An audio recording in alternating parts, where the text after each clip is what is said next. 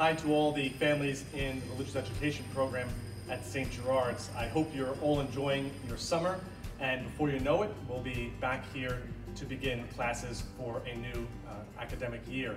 So again, keep enjoying uh, the next few weeks of summer, but we do look forward to seeing you soon, and uh, registration is underway right now.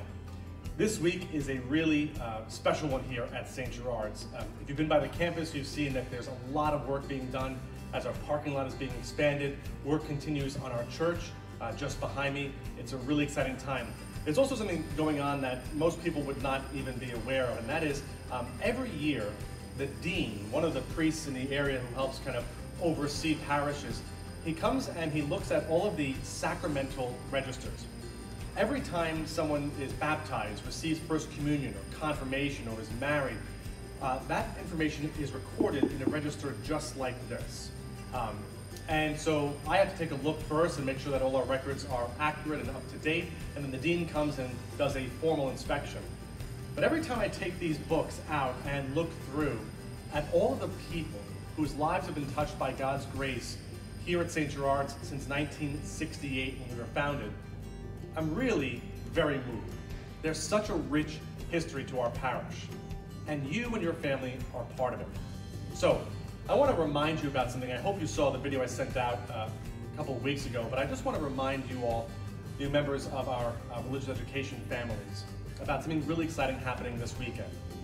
This weekend we celebrate the solemnity of the Assumption of the Blessed Virgin Mary, how God in his great goodness assumed Mary, body and soul, from earth into heaven to reign as queen.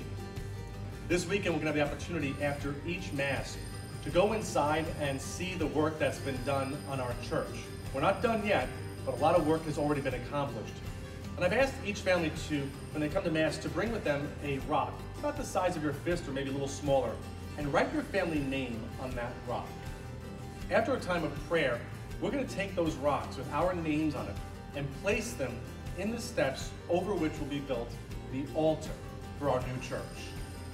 At every Mass that's celebrated from that moment on, our families will symbolically be present. I want your family to be part of this as well. You know, it's been a, a while now, 16 months since we've had the obligation to go to Mass on Sundays, and I'm so glad that many are returning. But I want to make a special invitation to you all, the families who are in faith formation right now, preparing for the sacraments, preparing for First Communion and Confirmation. I'd like all of you to make a, a special effort, please, to join us here at Mass. We love seeing you here, and it's been a crazy year and a half. We're really excited to get back to normal.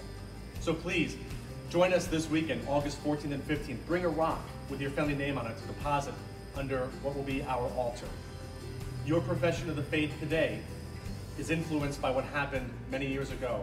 And please God, our decisions today will affect the next generation. God bless you and your family. Looking forward to seeing you in church.